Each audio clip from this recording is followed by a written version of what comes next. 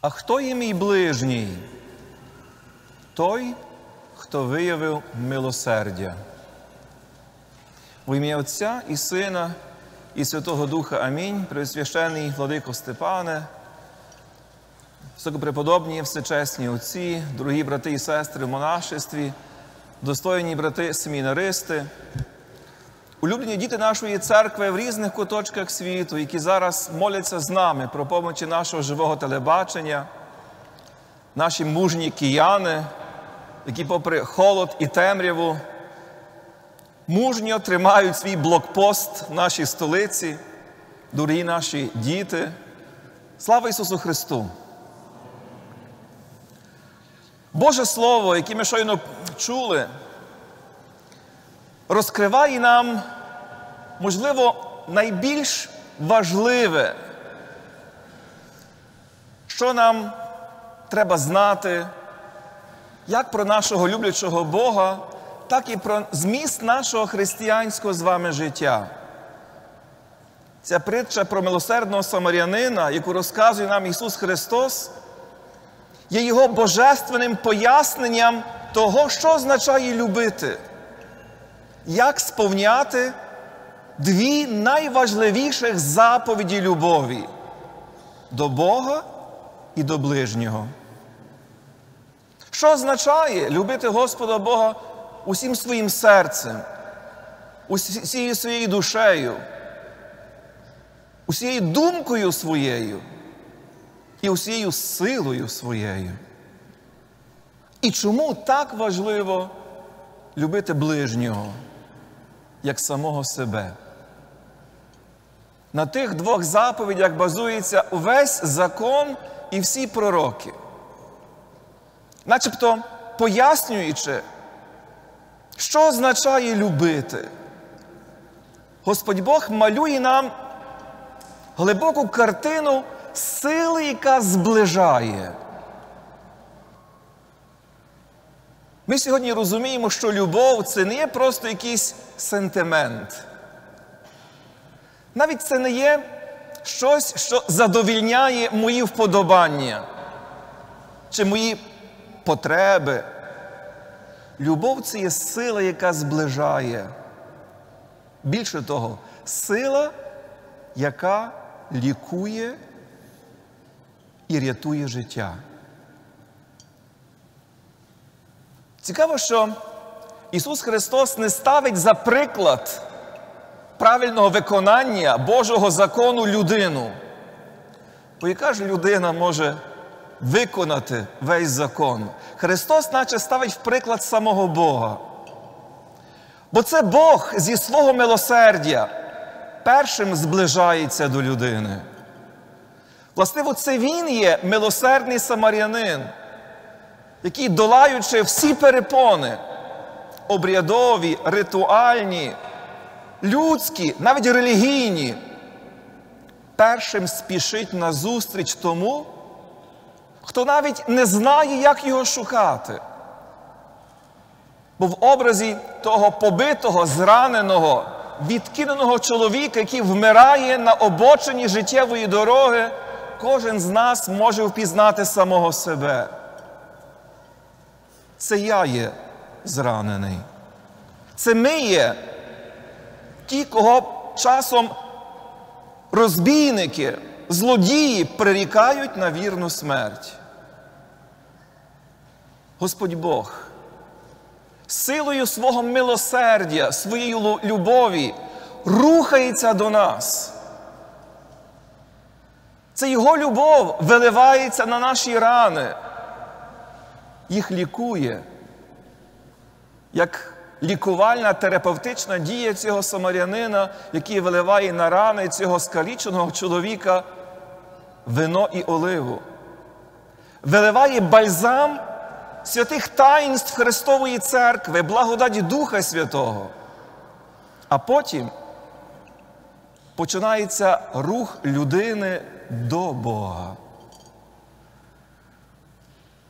Бо лише сила любові людини до Бога може нас до нього зблизити. Знає Бога не той, хто прочитав багато і має багато знань, Але може пізнати Бога лише той, хто любить. Так само, як іншу людину, ми можемо пізнати лише тоді, коли її любимо.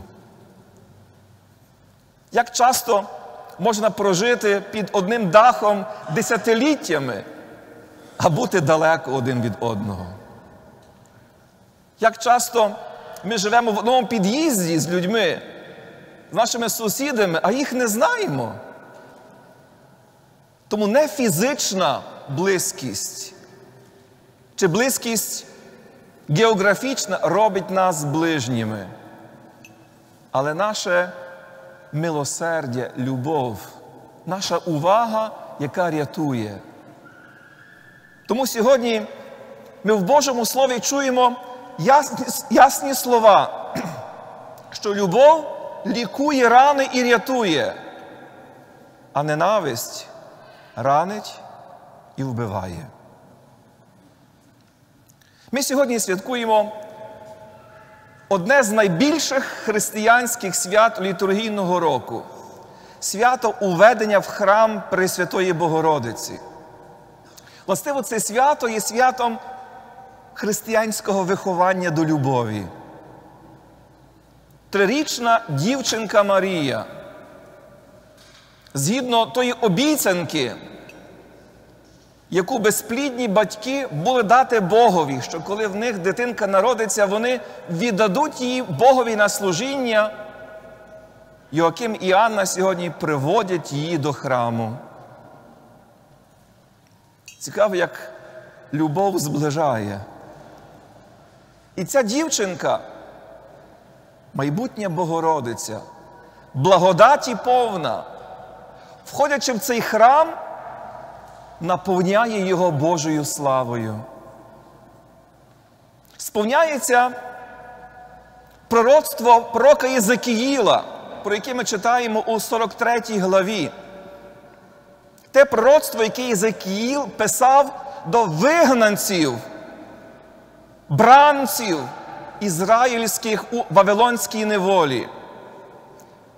Єзекіїл малює картину оновлення храму Божого, того простору зближення Бога до людини і людини до Бога. Він описує картину, як через східну браму слава Божа назад повертається до порожньої святині. І ось те пророцтво сповняється сьогодні. Ця дівчинка приходить у святає святих як божественний кивот, повний Духа Святого. Бо ми знаємо, що із зруйнуванням Єрусалимського храму був втрачений цей кивот завіту, який був знаком присутності Бога між своїм народом за часів Мойсея і мандрівки Божого люду в пустелі.